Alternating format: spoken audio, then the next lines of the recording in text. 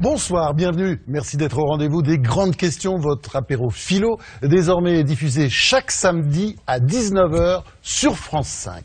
Cette semaine, eh bien, nous allons nous intéresser à l'après 7 janvier euh, 2015. Comment penser cet après euh, sur les plans philosophiques, religieux et géopolitiques? Eh bien, on va essayer de répondre à toutes ces questions avec Jean-Luc Mélenchon. Jean-Luc Mélenchon qui est euh, futur Hein, futur ou probable euh, candidat à l'élection présidentielle de 2017, auteur de L'ère du peuple euh, chez Fayard, euh, qui est par ailleurs député européen et cofondateur du parti de gauche. Galeb Bencher, qui est lui une des grandes voix de l'islam que nous sommes fiers de recevoir, qui est présente d'ailleurs à Nîmes chaque dimanche à 8h45 sur France 2, l'émission Islam. Et puis, euh, l'expert en géopolitique, Alexandre Delval.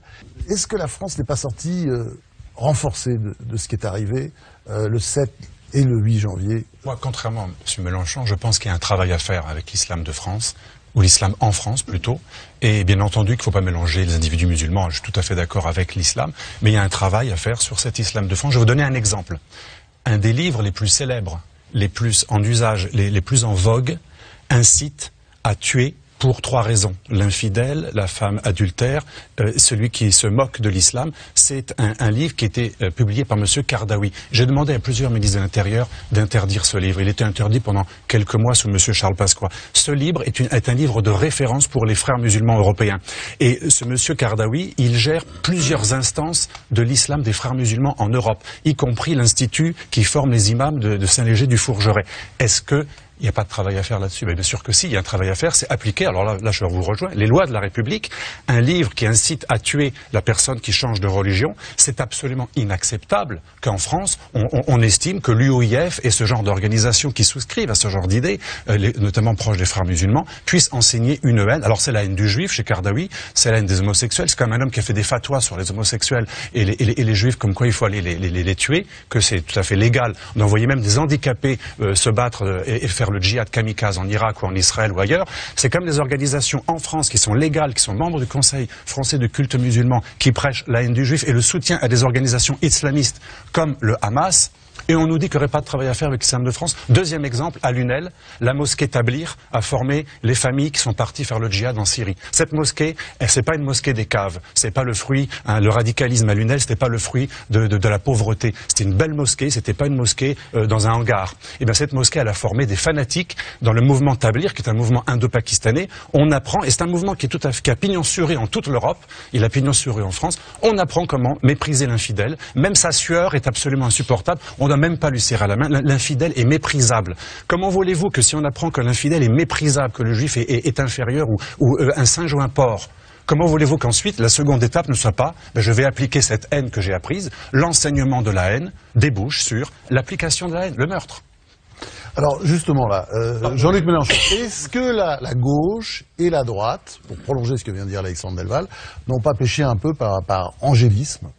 Euh, pour euh, toutes sortes de raisons, antiracisme, clientélisme, etc. Est-ce que, oui, est-ce qu'on peut pas se poser cette question quand même? Je ne m'appose pas pour moi-même. Moi, j'ai jamais fait preuve d'angélisme et j'ai toujours mené le combat laïque extrêmement âprement. Hein, contre toutes les tentatives du retour du religieux dans la politique. Mais, Mais Graouzek et les membres de, de, votre parti ont voté contre la loi qui interdisait la burqa, par exemple. Bah, euh, écoutez, Donc on a pas mal d'exemples chez vous de gens moi, qui ont, en tout cas, qui ont voté contre. Ah, alors, tant moi, mieux. Pour. Mais des, des gens de votre mouvement, de la gauche, ont voté oui, contre. Oui, mais il y a des gens qui voient les choses euh, différemment. Les pauvres curés qui aiment bien les barbus les plus fanatiques, c'est assez paradoxal. C'est ça qui est un peu gênant.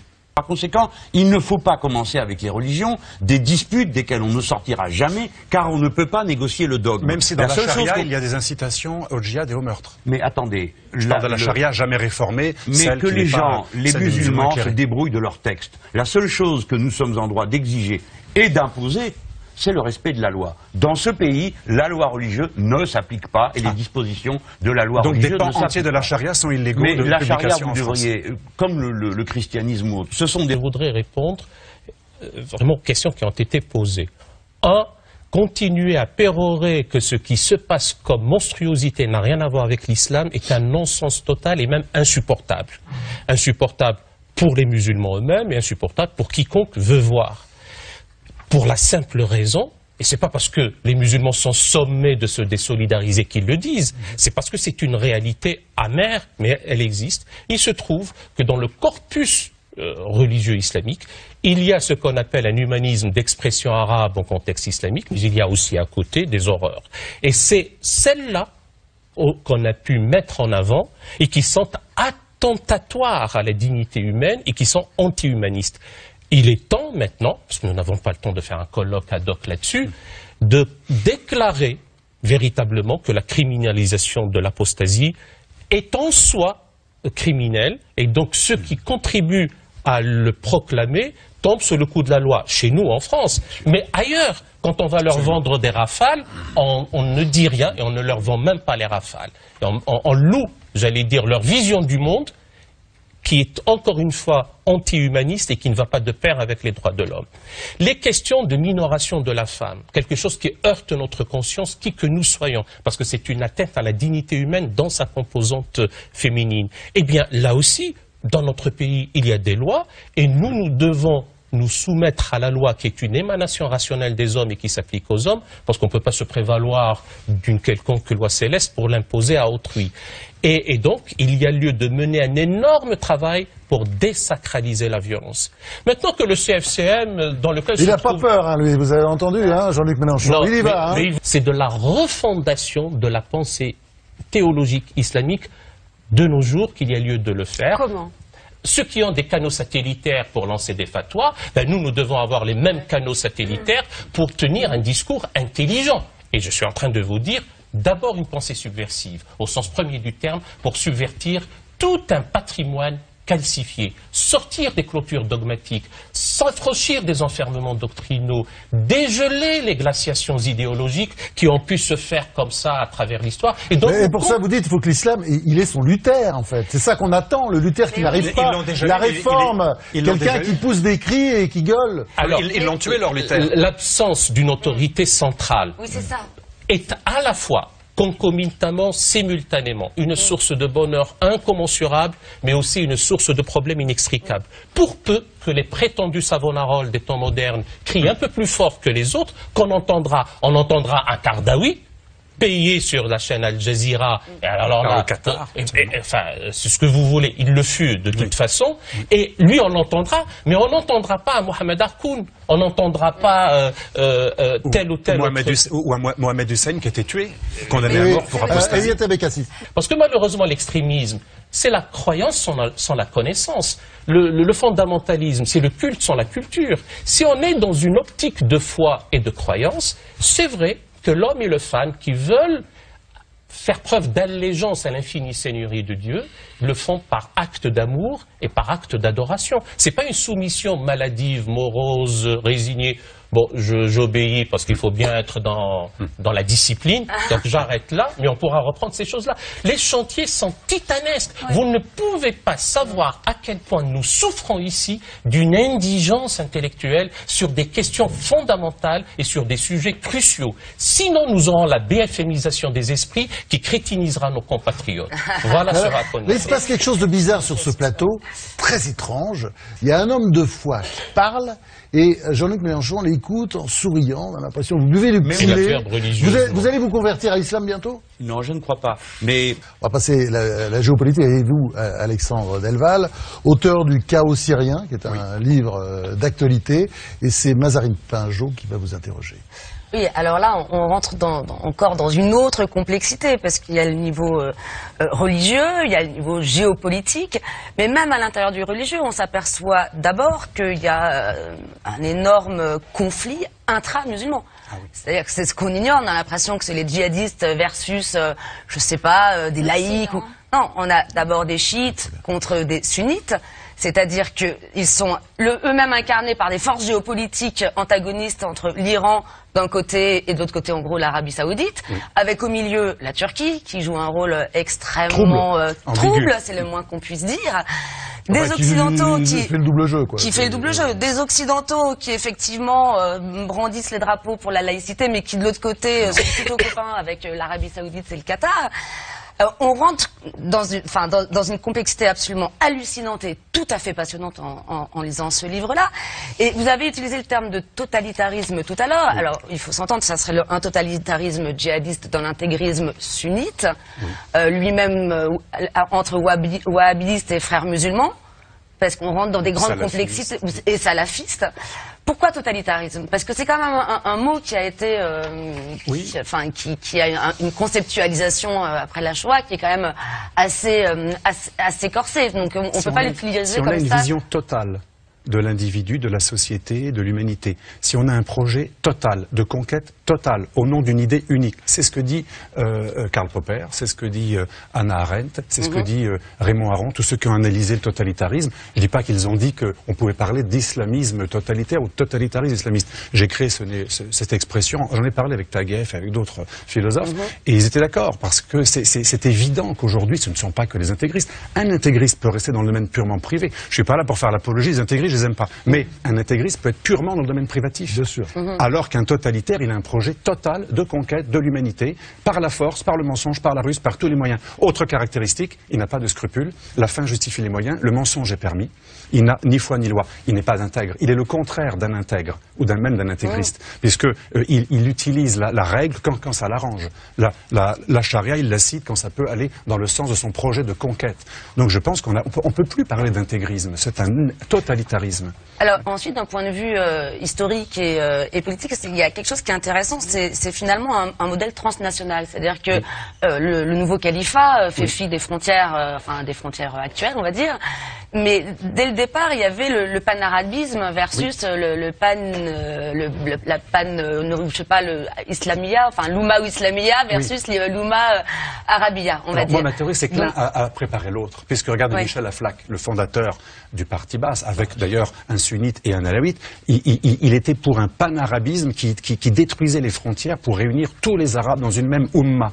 Mais à la fin de sa vie, euh, tout en étant laïque, il a embrassé l'islam à la fin de sa vie, parce qu'il il, il, était dans une logique transnationale euh, et, et, arabe qui, qui, a, qui, a, été portée par le Fatah, par, par la progression de l'islam avec l'arabité. Il y a une très grande euh, acquaintance entre les deux. Donc le panarabisme s'est opposé à l'islamisme et quelque part il l'a préparé, puisqu'il a préparé ce transnationalisme, cette fusion dans un, un, tout englobant qui est cette nation, Al-Umma al-Arabia et ensuite Al-Umma al-Islamia. Et, donc, beaucoup de panarabes sont devenus panislamistes. Et donc, est-ce qu'on pourrait Comme dire que... par exemple, en Tunisie, c'est un ancien panarabe devenu mm. panislamiste. Et donc, est-ce qu'on pourrait dire qu'après le nationalisme qui a été le fléau euh, du XXe siècle, le, euh, je sais, sais pas comment on pourrait l'appeler. Je en faux contre ça en tant que patriote. Je suis pas mm. nationaliste, mais je suis patriote.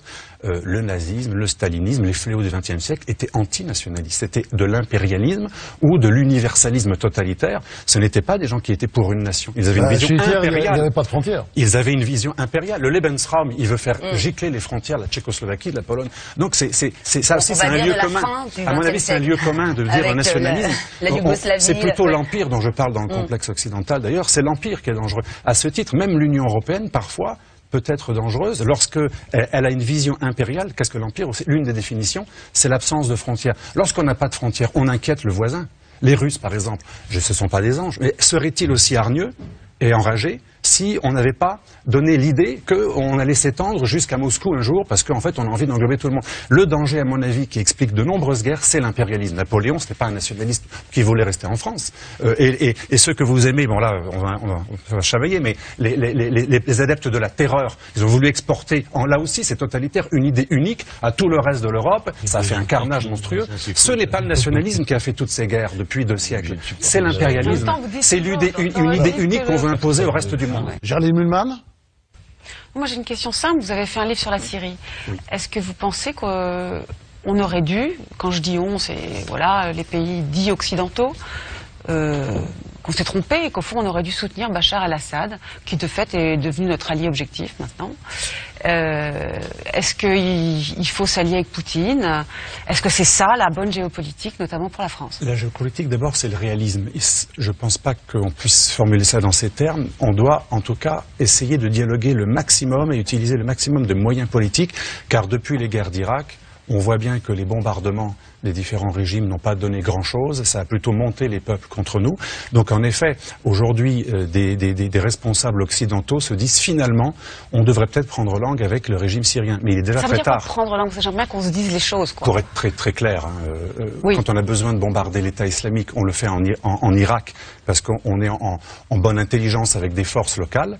En Syrie, on ne peut pas le faire parce qu'on a décidé euh, déjà depuis très longtemps d'enlever les ambassades euh, et donc de supprimer tout dialogue, c'est assez stupide. Donc on a fait et, ensuite, et ensuite, on a diabolisé les uns et on a sanctifié les, les, gentils de l'ASL qui en fait étaient composés de 90% d'islamistes, parfois avec même des sections de djihadistes. Les armes livrées à l'ASL, les soi-disant modérés, euh, sont arrivées du côté des djihadistes, de, du Front El-Nosra et ensuite de l'État islamique. Et, là, Jean-Luc Mélenchon opine. Hein. Et, je, je, ne dis pas qu'il faut être allié de ce régime horrible de, Bachar al-Assad. Mais là, vous avez raison, du point de vue, je dirais, purement technique, au niveau du renseignement, les spécialistes, et, pour bombarder des, positions de djihadistes, on ne peut pas ne pas dialoguer avec euh, le moins pire. Et c'est ce qu'a dit. Les spécialistes, ils conseillent jamais euh, François Hollande, euh, ah, tous ces gens qui pensent comme en général, qui a fait une déclaration où il était au bord d'entrer en guerre contre Bachar. Mais les hommes politiques n'aiment plus le réalisme aujourd'hui. Aujourd'hui, qu'est-ce qu'un homme politique? Regardez, regardez, regardez ce qui est passé quand on a bombardé ah. la Libye. Nous étions en train de collaborer avec, avec cet État qui avait renoncé au nucléaire, qui collaborait avec nous contre Al-Qaïda et euh, même en matière de flux migratoires. C'était relativement intéressant. Ah, euh, Donc c'était une idiotie, l'intervention. La, la, bulle Internet a explosé. Il a fallu être absolument contre le régime de, de, de, de libyen et contre le régime euh, égyptien et contre le régime tunisien. Et on a rompu des alliances qui étaient séculaires avec des régimes ou qui étaient plus récentes, d'un coup parce qu'il fallait paraître. Beaucoup d'hommes politiques n'ont plus de vision de long terme, ils sont dans l'indignation du moment, il faut être en phase. Alors on bombarde la Libye parce que tout le monde est indigné du fait qu'on a osé se réconcilier avec Eh bien je dis que les athées, les et les gens qui se réfèrent à la morale républicaine n'ont pas besoin de demander pardon à Dieu, d'essayer d'être eux-mêmes des hommes de bien. Ce sera le mot de la fin. Je rappelle les titres de vos livres. Alexandre Delval avec euh, Randa Kassi, Le chaos syrien, sous-titré Printemps arabe et minorité face à l'islamisme. Alors on est vraiment dans l'actualité. C'est chez Shaw Édition. Et puis il y a votre Le complexe occidental, petit traité de déculpabilisation aux éditions du Toucan. Euh, alors vous, Galeb Benchir, c'est incroyable parce que même euh, les panthéistes chrétiens, euh, bouddhos, soufistes, à vous entendre, ils ont envie de se convertir à l'islam. votre livre, ce, que le je leur demande nullement. Votre livre, Le Courant, c'est un petit guide. Hein? C'est une commande, c'est un guide de lecture pour s'introduire dans l'univers coranique, ce dont Voltaire a dit c'est une rhapsodie sans ordre ni liaison ni art. Eh bien, a-t-il raison ou pas? Et puis, pour pourfendre, c'est une réponse encore une fois à Géraldine Bullman sur la caducité, l'obsolescence de telle ou telle incidence sociale et éthique des passages coraniques. C'est aux éditions Erol. Et puis, bien entendu, on peut vous voir tous les dimanches matins à partir de 8h45 sur France 2. Et Jean-Luc Mélenchon, Jean-Luc Mélenchon, l'ère du peuple, hein, ça, ça, a très bien marché chez Flammarion. C'est un livre écrit par vous-même parce que vous êtes euh, un des derniers hommes politiques en France qui lit des livres et qui les écrit oh, euh, lui-même. Hein, voilà.